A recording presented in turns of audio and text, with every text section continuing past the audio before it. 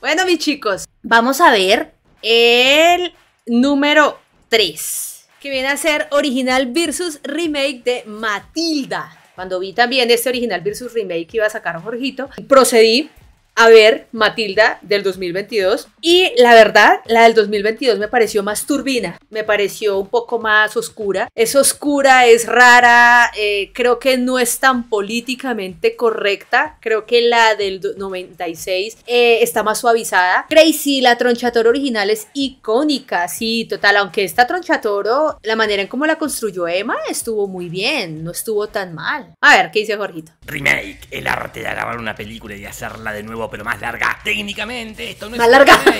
una adaptación del libro, pero faltarle respeto al título que yo mismo puse a esta sección no fue un impedimento antes cuando comparé las versiones de Spider-Man o las de It, así que no va a ser un impedimento ahora. En 1996 conocimos a una tierna niñata con poderes e ideas de izquierda que organizó un centro de estudiantes para combatir a una directora de una escuela pública que estaba harta de los niños, del bajo sueldo, de la sobrepoblación escolar y de manejar una escuela con una sola maestra. Más de 25 años después, esta Sí. tierna niñata con poderes viene a robarle el lugar con números musicales, un nene con un almohadón en vez de panza y una con Sí.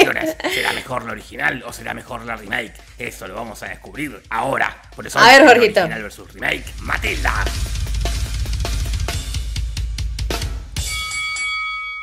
Esta es la historia de Matilda, una niñata común y corriente, pero eso solo en la remake. El original no es ni común ni mucho menos corriente, porque ya DB muestra tener una inteligencia fuera de lo normal escribiendo su nombre en caca. Bueno, no sé si es caca, pero parece caca. También se cría sola, se hace panqueca sola, va a la biblioteca sola, lee sola, todo sola. Hasta que finalmente en la escuela resuelve una cuenta matemática compleja demostrando no solo que es superdotada, sino que también es una pedante que no tiene problemas en dejar en evidencia que sus compañeros son unos ignorantes.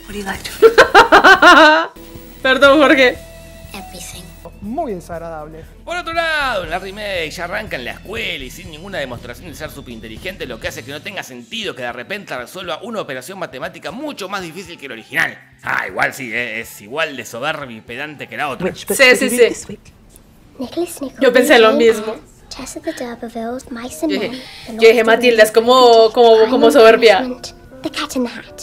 Muy desagradable, muy desagradable. Pero en cuanto a la presentación de Matilda, el punto es para el original. ¿Y las actrices? ¿Qué pasa con las actrices? Las dos son muy buenas y por diferentes motivos. La original, interpretada por Mara Wilson, que ya la conocíamos por la niñata tierna del papá por siempre, o por la niñata tierna de Milagros Inesperados, y después de esto se retiró para que Hollywood no le cagara la vida. Mientras que en la remake es Alicia Ware, que yo no la conozco en ningún otro lado, salvo del video que subió cuando se enteró que quedó Matilda.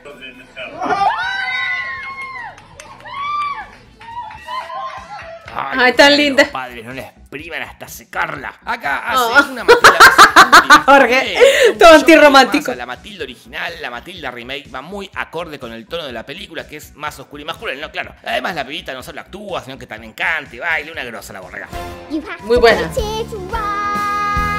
No, y Por todo eso lo que hace. tenemos un empate, porque bueno, no puedo juzgar a los niños. Más adelante voy a hablar del desarrollo del personaje de Matilda, pero ahora no. La remake le dedica mucho tiempo al nacimiento de Matilda porque Matilda nace en el hospital con más onda y más colorido de Estados Unidos. Miren qué felices están las mami después de haber tenido 27 horas de parto sin peridural. Y esta que tuvo trillizo, qué noche habrá pasado mientras el pelotudo del médico estaba por ahí cantando. Porque sí, es una comedia musical, pero como el original no, no voy a dar punto por eso. Y además a mí me gustan los musicales, ¿qué crees que te diga? Así que no tengo nada en contra de eso. En las partes del nacimiento se aprovecha para presentar a los padres que odian a su nueva hija. En cuanto a los actores están muy bien los cuatro, nada que decir, espectacular, punto para ambos. Pero la diferencia está en los personajes, porque los del original demuestran más desprecio por Matilda.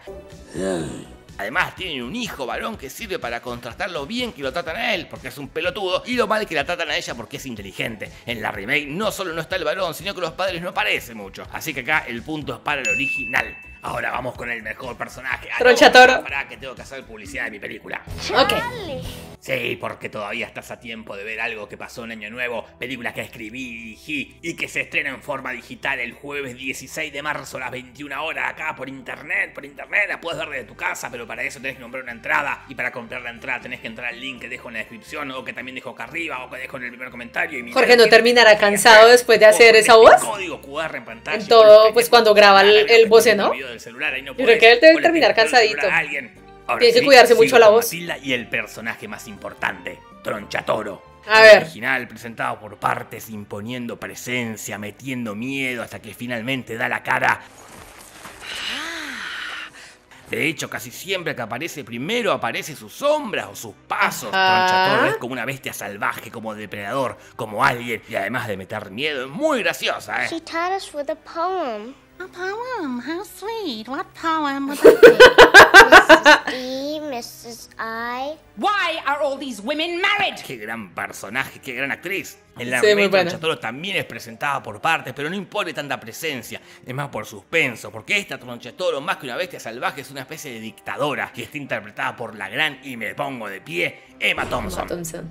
De las mejores actrices del mundo y de mis Total. favoritas, pero me duele en el alma no darle el punto. Hay todo un artificio entre el maquillaje, la prótesis, el vestuario, que hace que no intimide tanto como la otra, que es así. Emma Thompson es mucho mejor actriz que Pam Ferry, que no la conozco la verdad, pero en el Ah. de Tronchatoro ella se luce mucho más, así que el punto es para el original. Y en cuanto al desarrollo del personaje, bueno, te dije que en el original es más una bestia cazadora y en la remake una dictadora. Dos ideas completamente diferentes, pero una se explota más que la otra. Hay una escena en el original donde Matilde y la señorita Miel se meten en la casa de Tronchatoro a robarle una muñeca y justo cae la mina y ahí se pone en modo bestia, oliendo, saltando, Sí. rompiendo todo. Es un animal salvaje desenfrenado que lo único que quiere es atrapar a las personas que se metieron en la casa para despedazarlas. En la remake es como una dictadora y es violenta y baila un poco, pero no es lo mismo. No, no, no. Así que acá el punto es para el original. Uh, Sí, para sí, que sí. el original dejó este memazo. Mi mami dice que son bonitas.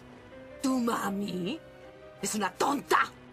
En la remake también está la escena, pero pasa sin pena ni gloria. Así que acá otro Sí, punto es cierto. para el original. Es mejor la Pero primera. Tengo que ser honesto conmigo mismo. En el original versus remake de La Bella y la Bestia dije esto. Emma Thompson cantando es un punto. Y en la remake de Matilda aparece Emma Thompson cantando así que...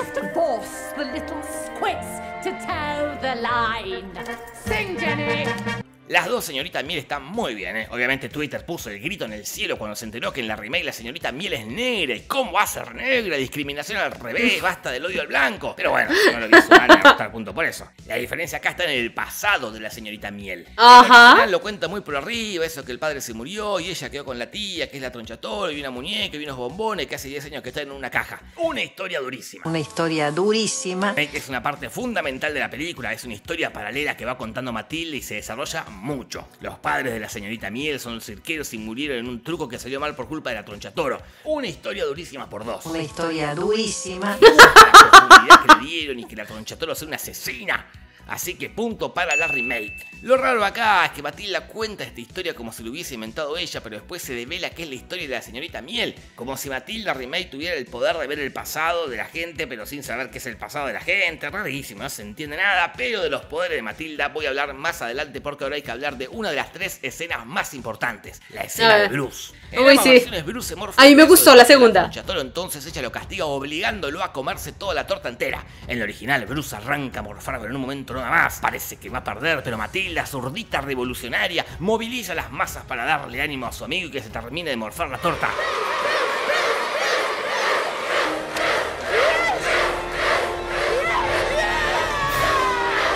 Momentazo épico de la historia del cine, carajo, que hace que Bruce tome fuerza, se morrofe lo que queda y festeje alzando la bandeja para que Tronchatoro se la parta en la cabeza. Hermoso momento. Yo también, que Verónica, quiero torta chocolate. porque Ni bien le ponen la torta, empieza a comer y los demás se ponen a cantar y no hay momento épico donde Bruce se rinde y el resto arenga.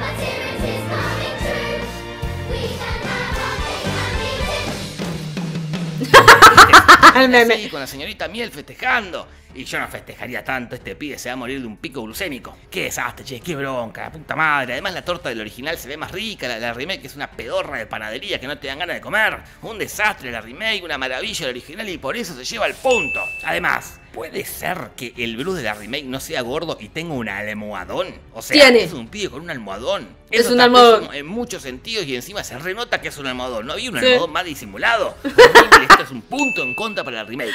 Dije que hay tres escenas importantes y la segunda es Matilda entrenando sus poderes. En la remake los poderes de Matilda aparecen recién a la hora cuando abolla un tacho. Minutos después mueve un vaso, después se da cuenta que ve el pasado de las personas y sigue en la batalla final creando un super monstruo con cadenas. La progresión de la Debo. de mover un vaso a crear un monstruo con cadenas. Chupala.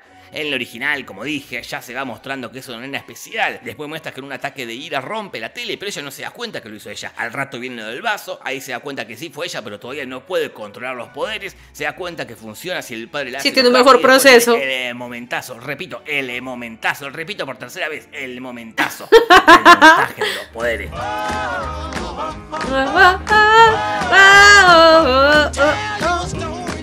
Toda una progresión de los poderes de Matilda que le da verosimilitud y nunca la flashean tanto como el monstruo de las cadenas. Así que por eso el punto es para el original. Y un punto por la escena del montaje también. En la remake no está el montaje, ni la cancioncita, ni un sorete. Entiendo que quieran separarse del original, pero viejo, hace algo superador, algo icónico. Con los poderes bien desarrollados de ambas Matilda se viene la super batalla final para hacer la reforma educativa. En ambos casos usan lo que saben sobre el pasado de Tronchatoro y se hacen pasar por el fantasma del hermano para asustarla. En el original, además de eso, la caga a palos con los borradores haciendo que la Tronchatoro caiga. ¡Pum! A ver. Después la hace girar en el globo terráqueo, después la hace atravesar la puerta para que el resto de los alumnos la termine de humillar. Y así termina el reinado de terror de Tronchatoro.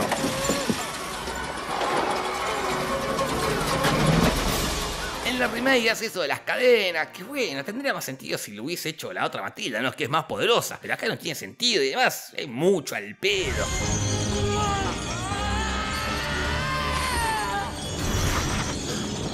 Después Matilda la hace volar y la tronchatoro se va corriendo sin que los alumnos la linchen, haciendo que todo el asunto de la revolución, temática que se toca en ambas películas, no tenga sentido. ¡Qué mierda! Punto para el final por la ¡Qué mierda! Viene el tercer gran momento, el momento ¡Adópteme, maestra! En ambas versiones están todos hasta que llegan los padres de Matilda para llevársela porque se mudan. Ahí Matilda espera los papeles de adopción y la señorita también la adopta. En la original tiene todo el sentido del mundo porque se molestaron en crear un vínculo entre Matilda y la maestra. Además de todas las escenas en la escuela, tienen esta donde caminan, esta donde toman el té en la casa, esta donde se meten a robar a la casa de la tronchatoro, Ajá. que hacen chistes y que la adopte tiene sentido. Porque es una niña maravillosa y yo la amo.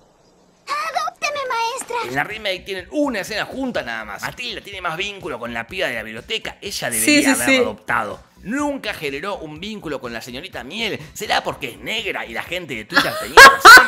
No, debe ser porque los guionistas le chupó tres maples de huevos generar un vínculo entre Matilda y la señorita Miel. Así que punto Claro. para el original. No voy a focalizar en No se genera ese vínculo y mucho menos la emotividad al final. el capó de un auto porque tampoco focalicé en el sinsentido de que Tronchatoro sea una violenta y ningún padre haga nada, o de que ningún niño haya muerto a pesar de que podrían haber muerto, o de que la señorita Miel se lleve una alumna menor de edad a la casa a tomar el té y nadie haga la denuncia. Omitimos todo esto y nos vamos al final. En lo original terminan todos felices y contentos. Matilde y la señorita Miel re en una jugando y la remake también terminan todos felices y contentos y cantando en una escuela que se convirtió en un parque de diversiones. ¿Con qué plata? ¿Acaso Matilde usó sus poderes para robar un banco y financiar todo esto?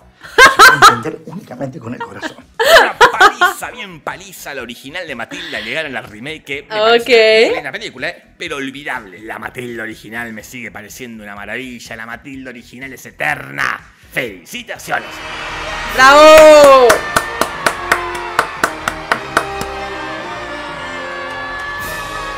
¡Perfecto!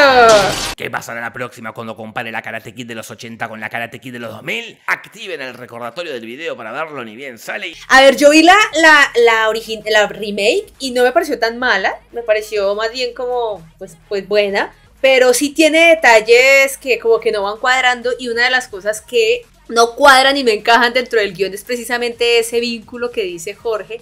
Eh, que, que- que se va armando durante toda la película para que al final ese abrazo sea muy emotivo, ¿no? Como que tú te, ah, bueno, sí, la maestra Miel se quiso quedar con la china porque sí, ya, listo. Pero en la primera sí hay ese vínculo, se, se, se desarrolla ese vínculo durante toda la película y ahí es cuando entendemos el cariño que le tiene la maestra Miel a la nena Matilda. ¿Qué dicen ustedes por acá? Adópteme, maestra, adóptame, Kate Blanchett. Sí, sí, adóptame, Margot Robbie. Yo me dejo adoptar de Margot Robbie. Yo nunca he visto la Karate Kid original. Ok, Alejandra. Prefiero ver el cine, el, perdón, prefiero ver el live action eh, Date de Death Note antes de ver la remake de Matilda. Ay, Sam. Eso dice mucho. Listo, mis chiquilines. Nos vamos entonces ahora. La original versus remake de Karate Kid.